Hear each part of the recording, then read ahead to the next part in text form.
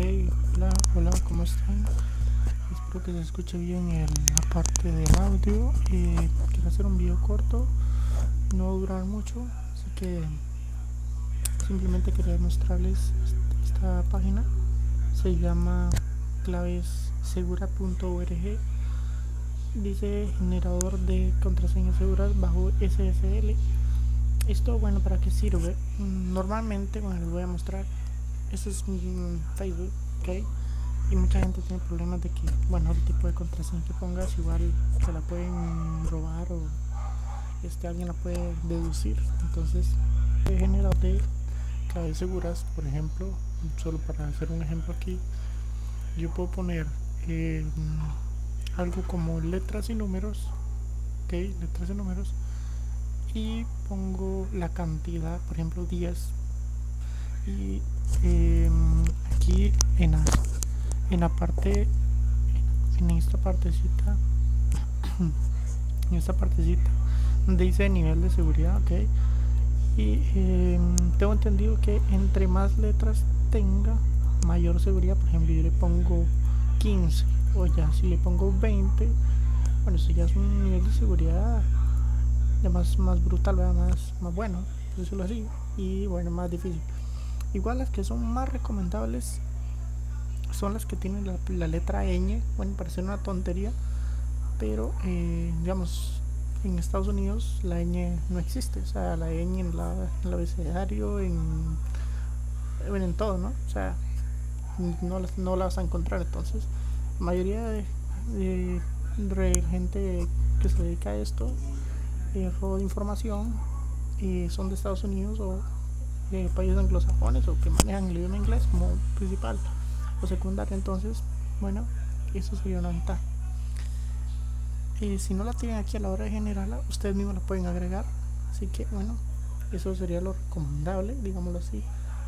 Y, bueno yo creo que el máximo son 20 pueden elegir el máximo 20 y, y si letras de número le parece poca seguridad pueden poner todos los caracteres y ya aquí si ya se pone más más buena la, situación y les da mejor seguridad, pueden generar cualquiera, les dan generar, generar y, buscan a que a ustedes les parezca más correcta. Si yo tengo un nivel de seguridad casi máximo, obviamente, bueno, esto lo dice así, pero ya sabemos que la seguridad no es al 100%, siempre hay una posibilidad de que alguien pueda deducirlo o algo. Entonces, bueno, aquí generan la que les parezca más correcta. Lo recomendable que yo les doy es eh, seleccionen todos los caracteres y longitud pongan máximo.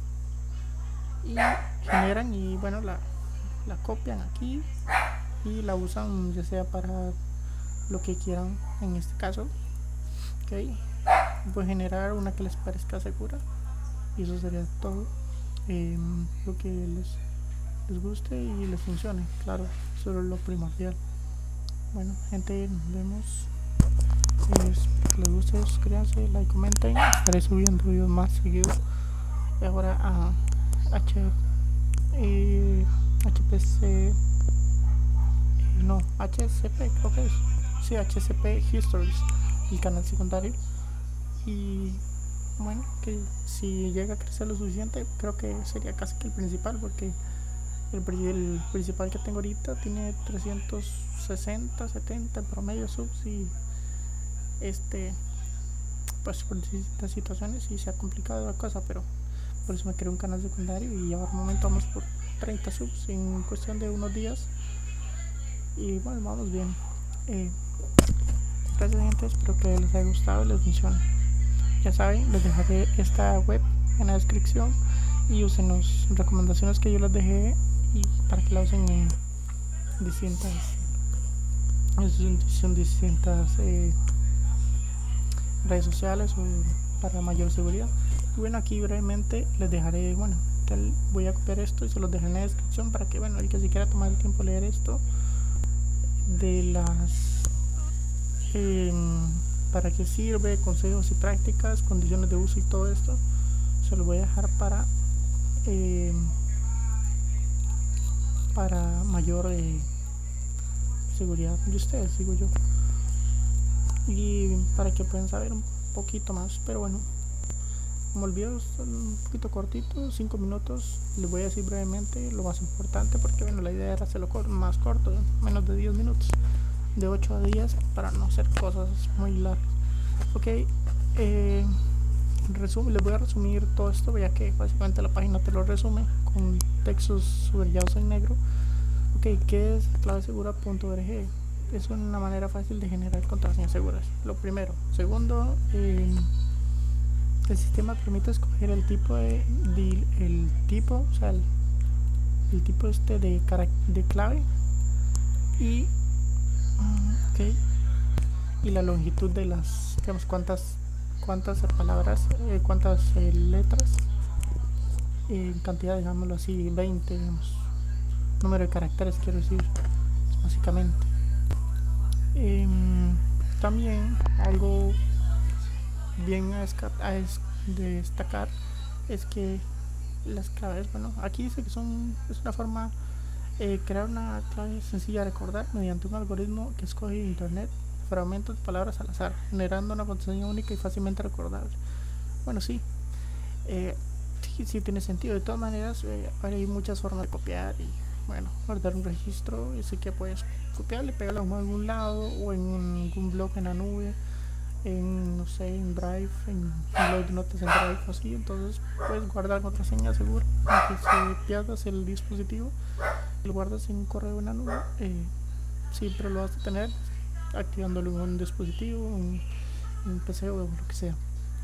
Ok, en teoría, ¿para qué sirve? Eh, básicamente nos, nos explica que no es buena idea usar fechas de nacimiento, aniversario, nombre del perro, son fáciles, son descifrables mediante un poco de ingeniería social. Bueno, esto de ingeniería social es como, más bien como deducción, como, ok, el aniversario de la persona, la fecha de nacimiento, el nombre del perro, qué sé yo. Eso es, la gente saca conclusiones, bueno, una persona que quiera maliciosa y básicamente esto, eso básicamente sustituye eso, digamos, te hace no, no estar propenso. Entonces, eh, podrás obtener una contraseña independiente sólida como una roca. Y bueno, sí, bastante más segura de la que tenías antes. Entonces, y básicamente la importancia de utilizar una contraseña eh, adecuada. Ok, em, vamos a explicar esto aquí brevemente. Según informes recientes, un 80% de los ataques de virus a piratas o hackers que se, eh, se han servido de contraseñas poco seguras o robadas. Bueno, sí. Esto mediante, como explican ellos, ingeniería social, pues, de deducir. Y hay, gente que se dedica a crear programas especializados en, en robo de, datos. No sé, yo diría, pues, gente que utiliza correos, gente que utiliza programas en específico, un mensaje texto. Son muchas maneras, incluso con mismas aplicaciones, que solamente para analizar. Eh, quería decir, si no se emplean y estas contraseñas se quedan combinando letras, números y símbolos y son todavía más seguras si son únicas, es decir, si no se emplean en más de un lugar. Bueno, sí, son seguras siempre y cuando las utilices una diferente en, cada, en cada eh, categoría, digamos, en cada aplicación que vayas a usar. Porque si, si tú lo que haces es venir, eh, venir y buscar una contraseña segura y lo que haces es pegar la misma en todas, pues obviamente si quieren descifrar eso, te descifran todo, así que no, eso no, es la opción o no es lo más adecuado. Entonces, aquí te dan una, una especie de, explicación de las más utilizadas que la gente usa, pues el típico del 1 al 6, del 1 al 8, el típico de la palabra password que, que bueno, te dice, a veces páginas como están en inglés y te dicen que escribas una, bueno, eh, write a password, una cosa así, y que escribas una contraseña y la gente, bueno, en son de broma ponen password también, o sea, contraseña. Y si alguien llega a hacer eso, lo deducen fácilmente. El famoso QWERTY, que es como son las letras, las cinco primeras letras del teclado son un clásico en las contraseñas. Sí, eso sí, resulta igualmente fácil, como explican ellos y del 1 al 5 y el típico todo eso combinando letras con deducciones fáciles bueno, no sé si lo explicaron aquí, pero algo también sencillo es como que del 1 al 5, pero el del 5 al 1 al revés, como 5, 4, 3, 2, 1 o una cosa, eso también es muy deducible fácilmente. Eh, a estas contraseñas clásicas se le suman cifras muy fáciles de eh, pues eh, acceder fecha de cumpleaños eh, fecha de nacimiento hijos apodos mascotas eh, todas estas efemérides o reglas mnemotécnicas para generar claves es un grave error sí claro después em, también nos explica que una forma de mejorar la seguridad de contraseñas además de un empleador generador de claves es activar la autentificación de dos pasos y también. Y aquí nos explica consejos y buenas prácticas. Eh, ok bueno está un poquito largo. Y bueno básicamente guarda la contraseña creada algún tipo de información sobre mí. Y dice que en absoluto porque son contraseñas aleatorias explica que son contraseñas generadas. Y únicamente existe un sistema estadístico de control de visitas Google Analytics en ningún caso quedan registradas bueno puede ser y no lo que yo recomendaría bueno en el caso que tengan dudas de que si se guardan los registros de contraseñas es que hagan esto que me lo acabo de inventar pero creo que está bien.